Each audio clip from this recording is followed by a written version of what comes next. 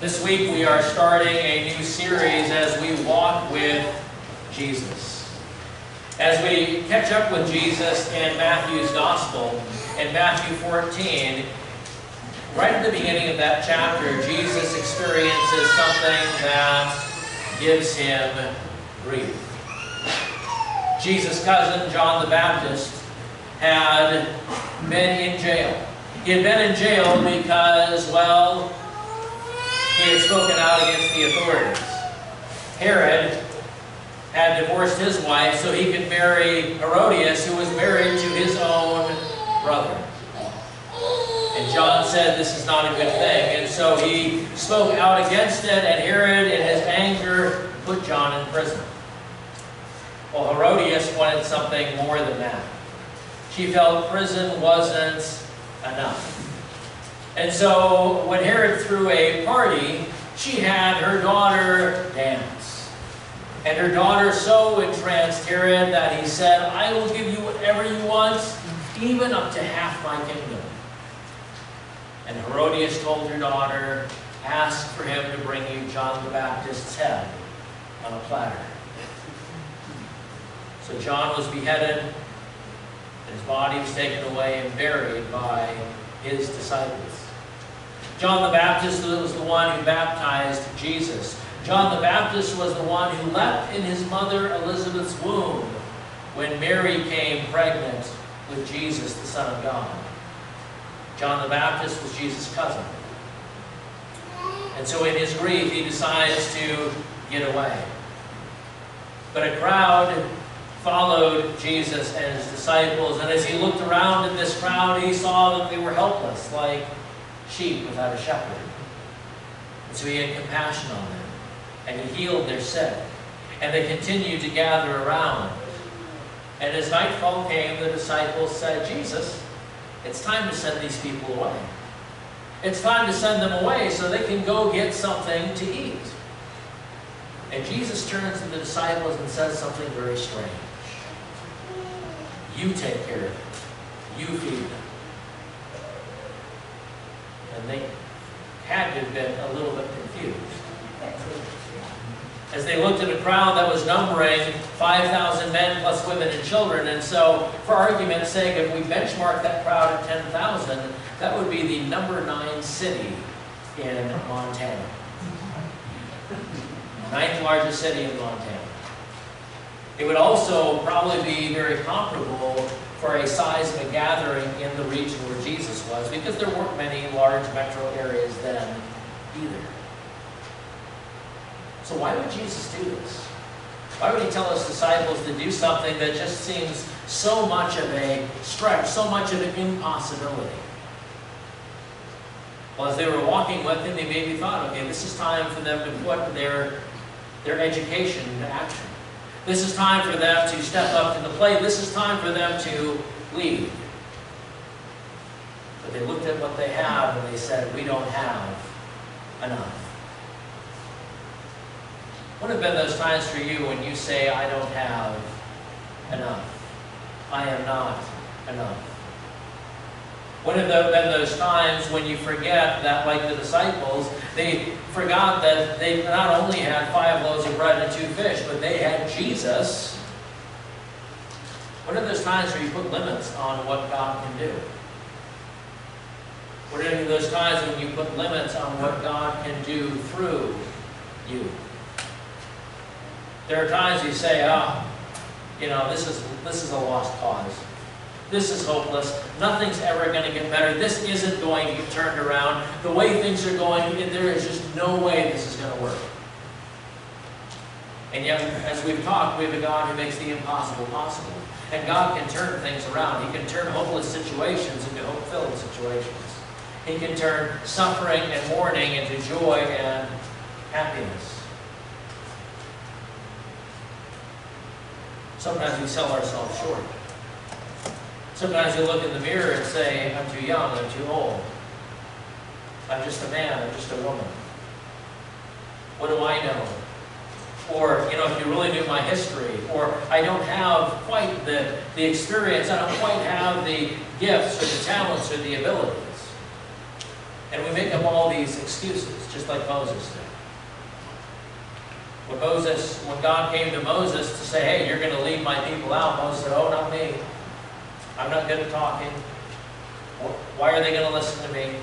What proof do I have that you're with me?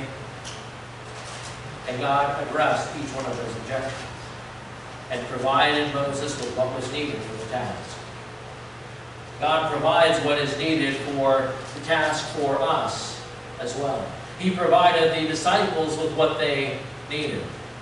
All they needed were the five loaves of bread and fish and Jesus. And that makes it work. For me, when I uh, graduated from seminary, my first call was to Trinity Lutheran Church in Leavenworth, Kansas. And a big chunk of my call as pastor there, as the associate pastor, was youth ministry. And I was a little anxious. I was a little nervous. Because out of my class of 120 graduates at the seminary, I was probably one of a few, perhaps the only one, who did not have youth ministry experience in their field education or during their internship. And yet I had to become the youth guy. And then I step into a situation where I look around and I see these old people that are there. These parents and these teenagers. I mean, some of them were 40, 50, maybe even 60 years old. Because in my mind, I'm going, well, you need to be in your 20s to connect with youth, right? You know, we, we, we throw that, that thing out there. And yet God did amazing stuff in that youth ministry. Over the three years that we were there, God turned our focus outward in our community and created a space where our youth were inviting their unchurched friends to come hang out on Sunday nights. And then some of those friends eventually said, you know, I'd like to be baptized. And they were baptized and they had the opportunity to be confirmed and commit their, themselves to following Jesus. And God did this through an experienced and an inexperienced young pastor. And these old people that were youth leaders. And one of them, I, he was the oldest. I think he might have been in his 60s. He was a meat cutter. And he had a knack for connecting with the hardest to reach kids. The kids that were just had a lot of armor coming in. He had a way of just walking with them, connecting with them, and God did amazing stuff there. And yet I was willing to sell God short. And I'm guessing you also have your stories where you've sold God short. And God has proved you wrong. And yet we continue to try to sell God short. And so what does Jesus do as the disciples say, what are we supposed to do? We only have five loaves of fish, or five loaves of bread and two loaves of fish. He feeds the people. And that's what God does. God feeds people. We go back all the way to the Exodus experience, which is like the stereotype for every family vacation. Uh, the disciple, uh, the, the, the children of Israel, the Israelites, all through the wilderness. It's this chorus of, I'm hungry, I'm thirsty, I'm tired, are we there yet? And in Exodus 16, they're, they're complaining. They're saying, you know, if we were back in Egypt, if we were back where we came from, we would we'd have food to eat. And what, what did you bring us out here to starve for, Moses? And so God promises to provide them quail and to provide them manna every day except on the Sabbath. And God provided enough on the day before to tide them over on that Sabbath day.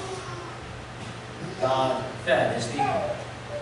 God worked through the prophet Elijah to uh, multiply some flour and some oil for a widow in Zarephath. And Zarephath wasn't even part of Israel. He's reaching outside to those other people and working through his people to bless them.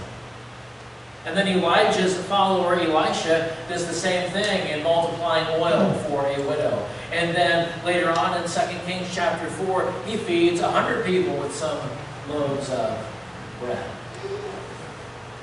This is what God does. And it's a bit of a about face from what we find with Herod. Herod is throwing this lavish party with an abundance of food and abundance of drink. And it ends in death for John the Baptist. Jesus has this gathering of a lot of people and only has a few loaves of bread and a couple fish. and he brings out of that scarcity and abundance 12 baskets of leftovers. And he brings life, and he brings hope. As we go to our text, and we find what Jesus does, but before that, we also find what God promises for us. In Isaiah 25, God promises that at the end of time on this mountain, the Lord of heavenly forces will prepare for all peoples a rich feast, a feast of choice wines of select foods, rich in flavor of choice fine wines well refined. God has a meal of the best of the best of the best, waiting for all of his people. And yet in the meantime, we have that promise from Isaiah 55 that what God gives is free. All of you who are thirsty, come to the water. Whoever has no money, come buy food and eat. Without money at no cost, buy wine and milk. God's just giving things away, sending it out the door, not expecting or being able to receive any payment because there's nothing that we can give. God feeds his people, and he does it freely. As Jesus was there in Matthew 14, he ordered the crowds to sit down on the grass. He took the five loaves of bread and the two fish, looked up to heaven, blessed them, and broke the loaves apart and gave them to his disciples. Then the disciples gave them to the crowds. We find that same scenario in the Last Supper. As Jesus is celebrating Passover with his disciples. And when they were eating, he took bread, he blessed it, broke it, and gave it to his disciples, and said, Take and eat, this is my body. And that's that meal that we get to celebrate here every Sunday. As God continues to nourish us and to feed our faith. And yet, Jesus repeats that one more time. In one of his post-resurrection appearances, he's walking on the road to Emmaus with some disciples who are in grief. Their hearts are broken because Jesus died. And they're convinced that everything that they had believed is gone and lost. And Jesus sits down with them at a meal he took a seat at the table with them. He took bread. He blessed and broke it and gave it to them. And then their eyes were opened. And then he disappeared. Blessed, broken, and given. As God continues to provide for us and to nourish our bodies, our minds, our hearts, and our souls. Nourishing us here at His table, nourishing us in our relationships with one another, and nourishing our bodies as we celebrate lunch after the service. And it's no wonder the psalmist gives us these words in Psalm 107. Let them thank the Lord for his faithful love and his wondrous works for all people, because God satisfied the one who was parched with thirst and filled up the hungry with good things. Where Jesus' disciples saw an impossibility, Jesus saw an opportunity to do something amazing. Where Jesus' disciples saw what they lacked, Jesus saw an opportunity to multiply what God gives. Where Jesus' disciples saw scarcity, Jesus saw an opportunity for abundance, hope, and life. So he took bread, he blessed it, broke it, and gave it away.